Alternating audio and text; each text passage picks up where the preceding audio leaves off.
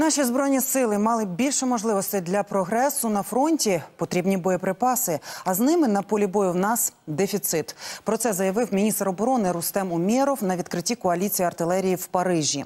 За його словами, країна-агресорка перевершує Україну в артилерійських атаках і посилення снарядного потенціалу одна з найважливіших потреб нашої країни. Послухаємо цитату.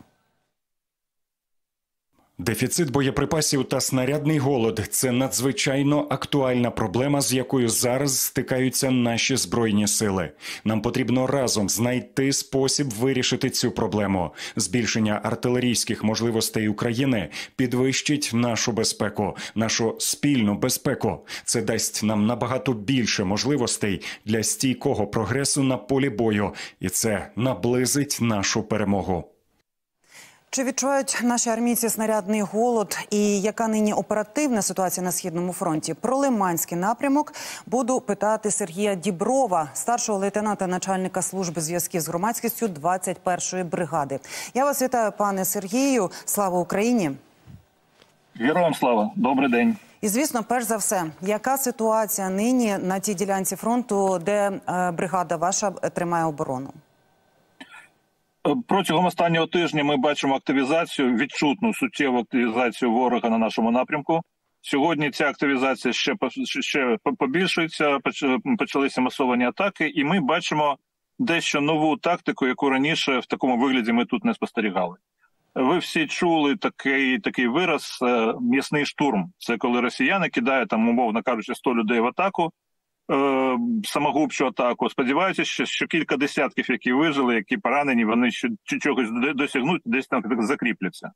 М'ясний штурм це вже такий сталий вираз. Зараз ми спостерігаємо фактично такі самі м'ясні штурми, але штурми, але з застосуванням бронетехніки. Тобто велика кількість танків, бойових машин піхоти, бронемашин рухається в наш бік. Сподівання, що не всіх ми не всіх ми встигнемо знищити, якісь з них там дойдуть до яких рубежів, десь закріпляться і чогось досягнуть. Це е, приводить до величезних втрат тепер бронетехніки. Раніше вони бронетехніку жаліли, раніше вони не жаліли людей, вони їх ніколи не жаліли, звісно. А зараз вони так само на м'ясо пускають вже власне залізо. Пане Сергію, як це можна пояснити, якщо враховувати потужності їхніх резерв е, тилових резервів і логістику, взагалі наскільки вона в них налагоджена? Е, тобто вони можуть підтягувати, мають можливість е, з Росії підтягувати саме бронетехніку? Схоже на те, що так е, було е, дуже потужні штурми, місні, в тому числі штурми піхотні до нового року. І схоже на те, що була якась вказівка, команда, політична настанова до нового року досягнути якихось успіхів. Відчутних успіхів вони не досягнули. Потім ми спостерігали з початку року пересування, перекидання сюди сил. Додаткові підрозділи 20-ї армії сюди пересувалися. Схоже на те, і жива сила, і техніка. Ось, скоріш за все, протягом тижня-двох тижнів вони накопичили ударний кулак, який зараз намагаються нас пробити за тою тактикою, яку вони для них є звичною. Скоріше за все, хто дав команду там до такого то числа взяти там якісь рубежі. А якою ціною це буде, це нікого вже не цікавить. Тому роблять те, що можуть, але або е, так як вміють, скоріш за все. А тоді я згадую слова речника командування сухопутних військ Володимира Фітьо. Днями він повідомив, що е, росіяни змістили свій натиск з Куп'янська на Лиман. Чи йдеться про цю е, це угруповання? Ну скоріш за все, вони посилили те угруповання, яке стоїть в районі в районі Лиману, Червона Попівка, ці населені пункти, які війська в яких можуть безпосередньо загрожувати місто Лиман, які для яке для них дуже таке важливе, болюче було втрата рік тому. Так, і це означає, що ми своїми діями відтягуємо сили ворога з інших напрямків, де теж дуже важко. Тобто робимо свою роботу, бережемо Україну в будь-який спосіб. І тоді які підрозділи нині вони там застосовують? Чи відомо вам? За нашою інформацією, за інформацією від полонених, там стоїть Е, кадрова російська армія, тобто це не якось там ЧВК, не якісь там штрафні батальйони, це мотострілецькі е, полки зі складу зі складу дивізії 20-ї російської загальновійськової армії. Тобто, це ті самі кадрові воєнні, та сама друга армія світу, контрактники, якими вони намагалися взяти Україну за три дні. А погода могла скоригувати їхні дії, от пов'язані саме е, тиснути не на Куп'янськ, а на Лиман. Е, Можливо, е, погода в цьому скоріш за все ні, тому що погода однакова, приблизно плюс-мінус однакова, однаково складна зараз для бойових дій, і вони намагаються це використати, тому що вона складна і для них, і для нас. Е, Скоріш за все, їм чогось не вдалося добитися в Куп'янську. Вони сподіваються, що наші сили всю увагу перекинули на інші напрямки, і можливо сподіваються, що у нас слабке місце. Але наша артилерія, наші сапери, наші піхотинці, наші оператори дронів показують, що вони знов помиляються. І хочу вас е, перед тим як перейти до питання про дефіцит е, в наших військах е, боєприпасів, все ж таки спитати і про нестачу боєприпасів в російських військах, про яку заявляв начальник ГУР Кирило Буданов. Він говорив, що нестача є у росіян власного виробництва боєприпасів, і що вони вже десь близько місяць як застосовують корейські снаряди від північної Кореї. Чи стикалися ви з таким застосуванням? По перше, і наскільки це впливає на інтенсивність вогню артилерійського з боку росіян? Е, Північно-корейські е, війська використовують радянські калібри, тобто їх снаряди сумісні з російськими з радянськими снарядами.